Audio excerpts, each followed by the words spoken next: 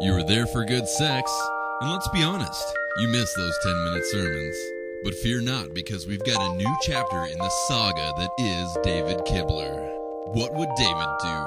The Life and Times of King David is the next sermon series by acclaimed writer, speaker, and blogger David Kibler.